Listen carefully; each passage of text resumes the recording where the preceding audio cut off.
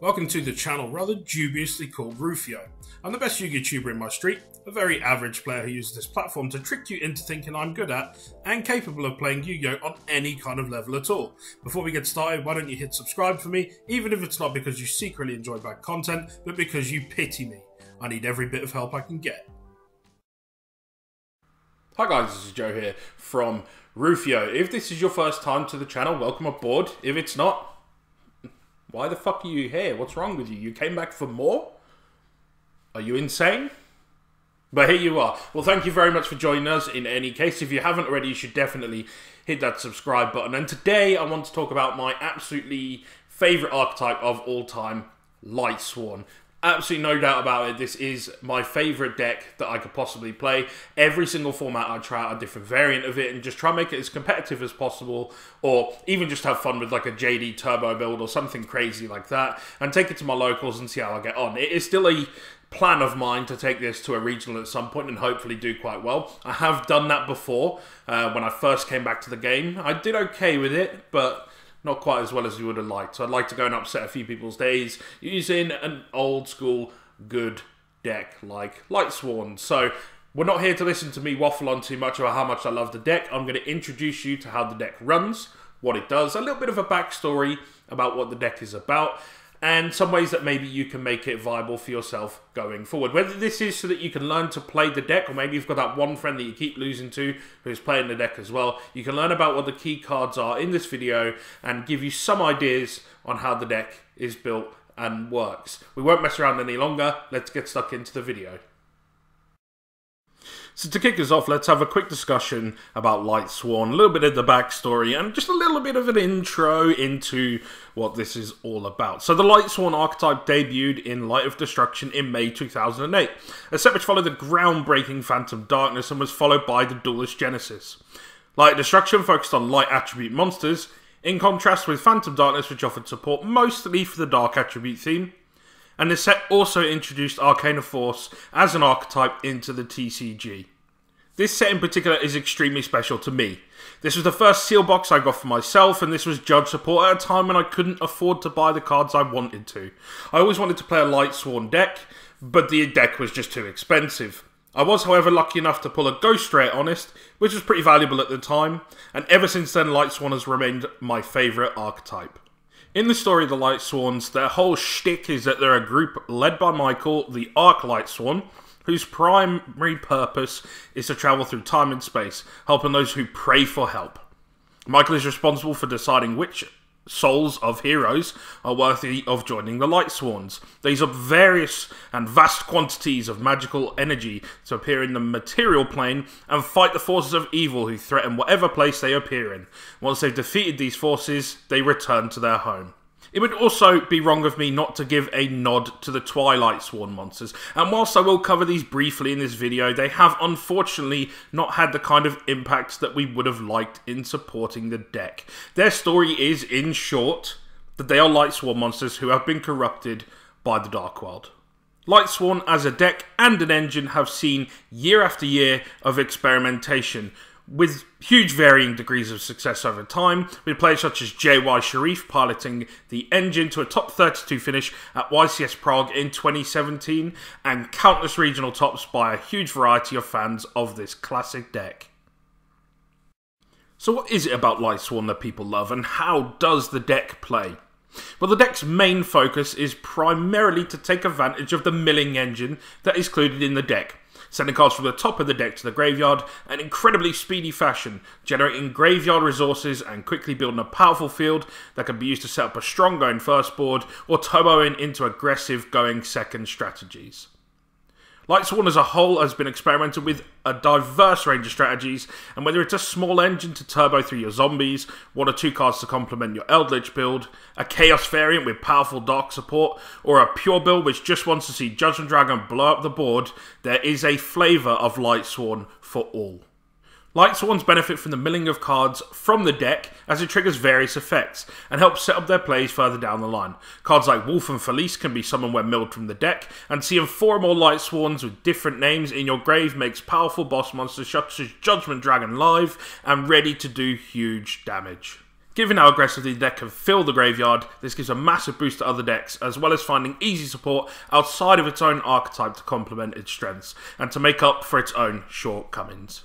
This video isn't just here to talk about the positives of Light Sworn though. We should also highlight what goes wrong on occasion as well, so that you know how to better build your deck and how better to play against it. So as a note, we should mention that the one main downside of the deck because it is important to understand these weaknesses for ourselves, is that as it has such a reliance on milling, rather than sending specific cards from the deck to the graveyard, you can find games where you're milling all your good spells and opening hands full of Wulf and Felice.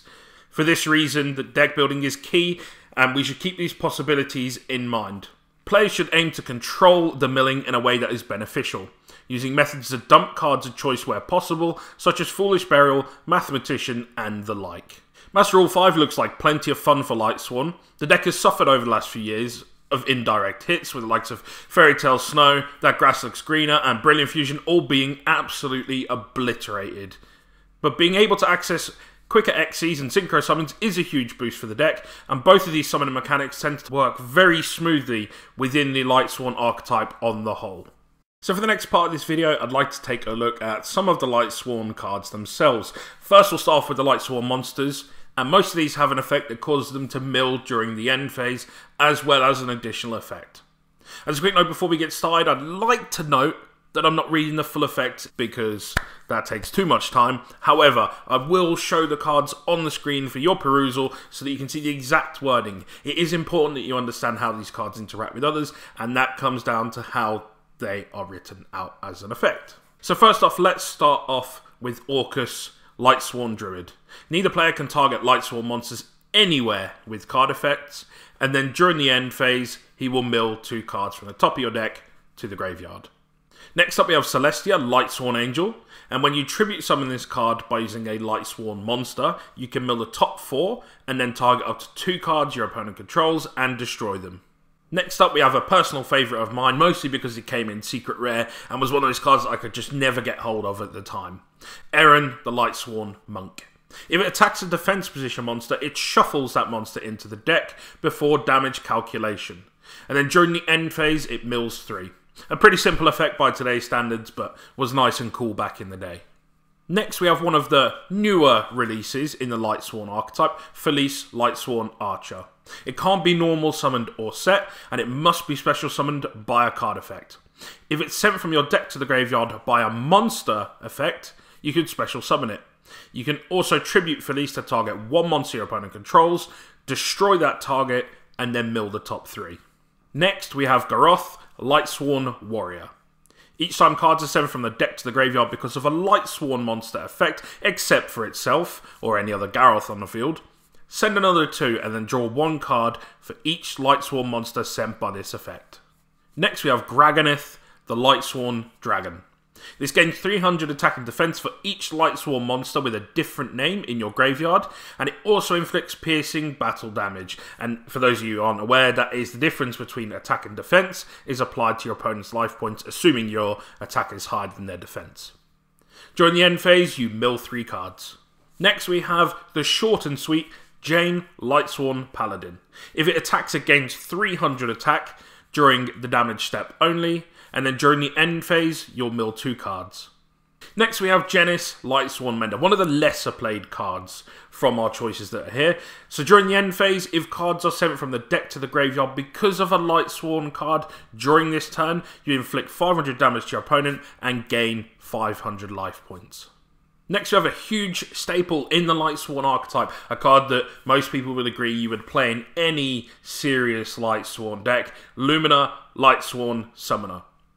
Once per turn, you can ditch a card from your hand to the graveyard, and then special summon one level 4 or lower Lightsworn monster from your graveyard. And then during the end phase, you mill three. So many times you have multiple of these that end up on board, and you fill a board with five monsters. By pitching one, target another. You just have to have a valid target at the time, and then you can actually summon back the monster you sent from your hand to the graveyard. Next, we have Lila, Lightsworn Sorceress, one that is seeing a little bit of play action at the moment. I've seen it in a few Eldritch decks at the time of recording. Interesting if you're watching this in the far future. So you can pop an opponent's spell or trap by switching it from attack to defense position, but it can't then be changed until the end of your next turn. And then during the end phase, you mill 3. Next, we have Little Minerva the Lightsworn Maiden. When normal summoned, you can add a Light Dragon from deck to hand, whose level is less than or equal to the total number of Lightsworn monsters with different names in your graveyard. Obviously, your primary target for this usually would be Judgment Dragon. You could get Dragonith or a number of any other good dragon support cards. If this card is sent from the deck to the graveyard, send the top card of your deck to the graveyard. And then during the end phase, you mill two cards. Next, we have the fantastic Raiden Hand of the Lightsworn. During your main phase, you can mill two, and then this card gains 200 attack if there are any Lightsworn monsters amongst those cards that are milled, and that is until the end of your opponent's next turn. This effect is a hard once per turn, so no cheating by getting multiple on boards and trying to bypass that effect. During the end phase, you can mill two. Next, we have a card that I personally have never seen played in a single Lightsworn deck, but let's discuss it because that's what we're here for. Rinyan Lightsworn Rogue. So you can flip effect, target one Lightsworn monster in the graveyard, shuffle it into the deck, and then draw one card. Next up, we've got a flip effect monster that has seen a lot of play Ryko Lightsworn Hunter. So you can flip it, and then you destroy one card in the field and mill three. Next, we have Shire Lightsworn Spirit, which gains 300 attack for each different name Lightsworn in your graveyard, and then during the end phase, you mill two cards. Following that, we have Wulf Lightsworn Beast, one of the most important cards in this deck. So it cannot be normal summoned or set, and it must be special summoned by a card effect, but if it is sent from the deck to the graveyard, you can special summon it. This is a really key part of this deck's flooding abilities, just milling the shit out of this during the end phase or with your monster effects along the way, and filling out your field with these big beat sticks. And finally, for the standard Lightsworn monsters, we include the honorary boss monster, Judgment Dragon. So Judgment Dragon cannot be normal summoned or set, and it must be special summoned from your hand by having four or more Lightsworn monsters with different names in the grave. You can pay a thousand life points and blow up all other fucking cards on the field. And then during the end phase, you mill four. There is one more honorary card that I should probably mention, and although it's not officially a Lightsworn card, it should be mentioned for obvious reasons. And we are talking about Honest. So during your main phase, you can return this face-up card from the field to the hand, and during the damage step when a light monster you control battles, quick effect, you can send this card from your hand to the graveyard, and that monster gains attack equal to the attack of the opponent's monster is battling until the end of this turn. From these main deck Lightsworn monsters, the most commonly played are Raiden, Wulf, and Lumina. Some engines will use Lila and Felice, and Judgment Dragon is almost exclusively used in pure builds and builds that are intended just to turbo it out. Next, we're going to take a look at the Twilight Sworn monsters. So we'll start off with Jain, Twilight Sworn General. Once per turn, you can banish one Light Sworn monster from your hand or graveyard, and then target one face-up monster on the field, which then loses attack and defense equal to the banished monster's level times 300 until the end phase. And then once per turn, if another Light Sworn monster's effect is activated, you can mill two cards. Following that, we have Lumina, Twilight Sworn Shaman. So once returned, you can banish one Lightsworn monster from your hand or graveyard, and then target one of your banished Lightsworn monsters, except for monsters with the same name as this one, and special summon it. And then once per turn, if your Lightsworn monster's effect is activated, you mill three cards. Following that, we have Lila, Twilight Sworn, Enchantress. Once per turn, when a spell or trap is activated, quick effect, you can banish a Lightsworn monster from your hand or graveyard and then destroy a face-up spell or trap on the field. And then once per turn, if another Lightsworn monster's effect is activated, you mill three cards. We also have Ryko, Twilight Sworn Fighter. If this card is normal summoned or flip face up, you can banish one Lightsworn monster from your hand or graveyard and then banish one card on the field. Once per turn, if another Lightsworn monster's effect is activated, you mill the top three. Finally, we should discuss the Twilight answer to Judgment Dragon, Punishment Dragon. So it can't be normal summoned or set, and it must be special summoned from your hand by having four or more banished Lightsworn monsters with different names. And then once per turn, quick effect, you can pay a thousand life points and then shuffle into the decks all cards in both players' graveyards and all face up banished cards except Lightsworn monsters. And then once per turn, if another Lightsworn monster's effect is activated, you mill four cards. Mostly the Twilight Sworn cards don't see any play, apart from for novelty purposes. The banishing effects tend to work against the overall plans of the deck as a whole, and so are usually a hindrance. It's worth noting that Ryko can be useful as it's a non-target and banish, which is not a bad effect, although it's lackluster as a normal summon, and Lila can be used in pendulum formats to keep scales at bay, but outside of this, nothing sees too much play.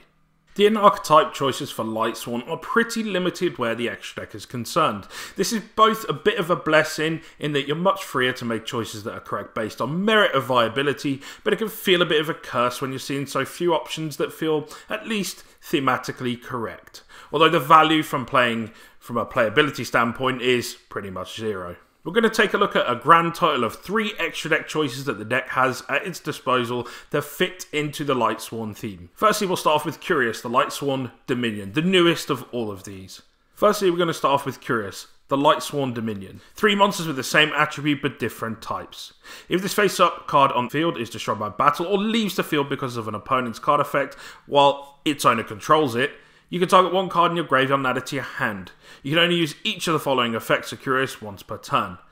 If this card is link summoned, you can send one card from your deck to the graveyard. If a card is sent from your deck to the graveyard by an effect, you can send the top three cards of your deck to the graveyard. Following that, we have Michael, the Arch Lightsworn, which requires one tuner or one or more non tuner light monsters.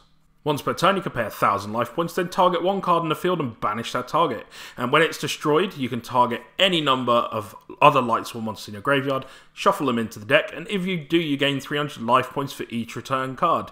And then once per turn, during the end phase, you send the top three cards of your deck to the graveyard. And then finally, we have Minerva the Exalted Lightsworn, which requires two level 4 monsters. You can detach one material from this card, send the top three cards of your deck to the graveyard, and then draw cards equal to the number of Lightsworn cards sent to the graveyard by this effect. And if it's destroyed by battle, or if it's in your possession and destroyed by an opponent's card effect, you can send the top three cards of your deck to the graveyard, and then destroy that many cards on the field, equal to the number of Lightsworns you milled, of course. You can only use each effect of Minerva, the Exalted Lightsworn, once per turn. Finally, I just wanted to cover a card which is basically just a spiritual Lightsworn card rather than actually being part of the archetype. It's clear that it's at least based on Judgment Dragon, but its overall playability in the deck is left wanting. This card is Judgment, the Dragon of Heaven. So in order to summon this, you need one tuner and one or more non-tuner monsters. And if you synchro summon this card, all materials must be the same attribute.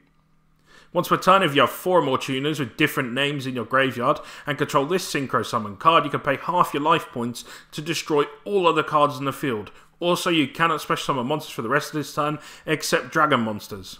Once per turn during your end phase, you can banish four cards from the top of your deck. So if you haven't figured it out, this card is a synchro retrain of Judgment Dragon. I suppose in terms of lore, this may be Judgment Dragon from before it was brought into Lightsworn archetype by Michael, but this would just be pure speculation.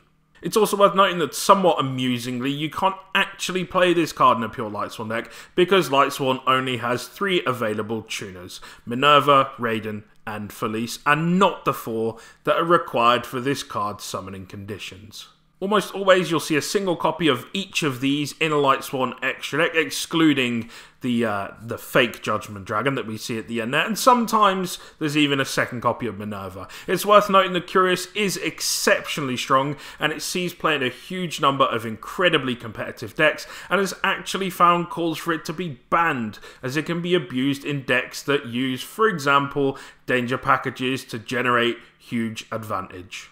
Minerva is also worth mentioning the strengths of. It's good to keep in mind that this was at one point a prize card. This card is incredibly strong and still a favourite of Lightsworn players to this day. For the next part of this video, we're going to take a look at some of the Lightsworn spells and traps. For this part, we're specifically looking at in-archetype support for Lightsworn and the Twilight Sworn variant at the end, and discuss which of these sees the most and least play, in order to help you make the best choices about which options you should consider running in any given build. We start first with Charge of the Light Brigade, which allows you to send the top three cards of your deck to the graveyard, which is a cost, which is really, really nice. And then you can add one level 4 or lower Lightsworn monster from your deck to your hand. Following that, we have the Lightsworn equip spell, Lightsworn Saber. So you can equip it only to a Lightsworn monster, which gains 700 attack, And when this card is sent from your deck to the graveyard, you can target one Light Sworn monster you control and equip this card to that target. So this is one of the few spells in the deck that you really don't mind being milled out. Next, we have Lightsworn Sanctuary.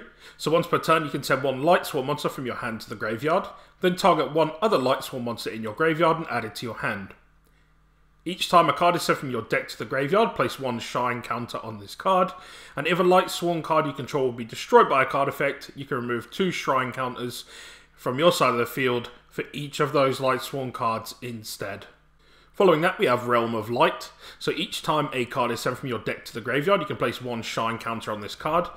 All Lightsworn monsters you control gain 100 attack for each Shine counter on this card. If this card be destroyed by a card effect, you can remove two Shine counters instead.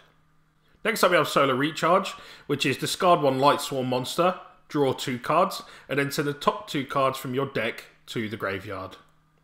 We have Glorious Illusion, so you can activate this card by targeting one Lightsworn monster in your graveyard and special summon that target in face up attack position. During each of your end phases, you send the top two cards of your deck to the graveyard. When this card leaves the field, destroy that monster.